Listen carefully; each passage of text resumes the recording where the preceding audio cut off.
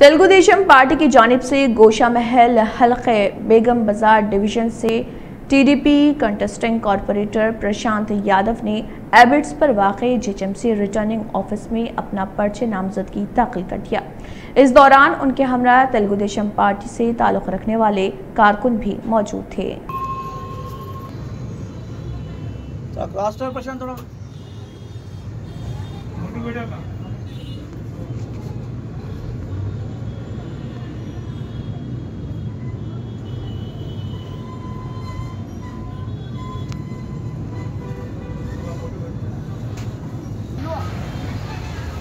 अभी आओ पीछे आओ पीछे आ जाओ।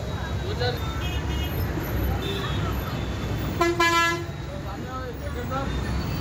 थोड़ा सामने आ गया तू। नमस्ते नमस्ते करो।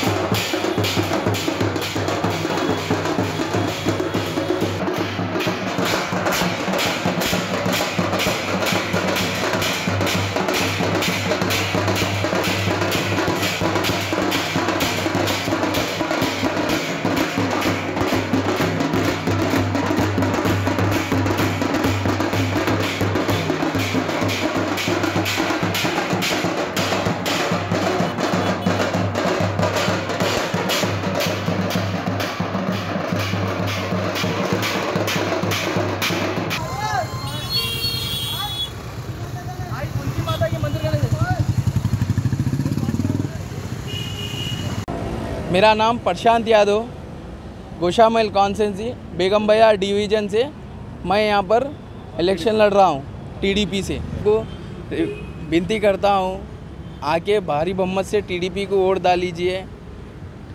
हैदराबाद के जीएचएमसी के जो भी डेवलपमेंट हुए, बाबू साहब की गवर्नमेंट में हुए सो है हैदराबाद को डेवलपमेंट बताई सो बाबू गवर्नमेंट है। आप सबसे मैं रिक्वेस्ट कर रहा हूँ, आकर आप सब हमें भारी बहुमत से जिताइए। यार से, बेगम भाई डिवीज़न से मैं एक बीजेपी टीडीपी का कैंडिडेट बना सो हूँ। और हमारे पास कुछ भी, हमारे डिवीज़न में कुछ भी डेवलपमेंट नहीं है। चाहे रोड़ा रहने दो, चाहे इलेक्ट्रिसिटी रहने दो डेनिस रहने दो। परसों आप देखे होंगे, हैदराबाद में पानी का सुलाब आया है। उसमें बेगम्बैर के हमारे कारपोरेटर चाहे एमएलए कुछ भी नहीं करे सो है। तो आप सबसे मैं रिक्वेस्ट कर रहा हूँ कि आप सब हमें टीडीपी को वोट डालकर भारी बहुमत से जिताइए की तरह आपकी बार भी म्यूनसिपल इलेक्शन आए जिसमें एक नारा है बल्दिया खाया, पिया, चल लिया उसी तरीके से पूरे नगर निगम की ये हालत बना के रखे टीआरएस गवर्नमेंट। खास तौर से जितना डेवलपमेंट हुआ, तेलुगु देशम पार्टी, चंद्रबाबू नायडू की गवर्नमेंट में हुआ, आप एक साइड देख सकते हैं कि क्या हालत हो गई। इस पहले दस से पानी हर किसी के घर में बढ़ गया। तो इस तरीके से आप समझ सकते हैं कि टीआरएस गवर्नमेंट पूरी तरीके से फ्लॉप है। तेलुगु देशम गवर्नमेंट को मैं फिर कहता हूँ, पूरी जनता से कि फिर एक बार हम लोगों को लाइए पूरी बहुमत से जिताइए फिर हम हैदराबाद को उस मुकाम पे ले जाएँगे, जिस तरीके से चंद्रबाबू नायडू जी ने लेके गए थे। मैं सबसे विनती करता हूँ कि आप भवरी बहुमत से मेरे भाई को जिताइए। जय तेलुगु देशम, जय चंद्र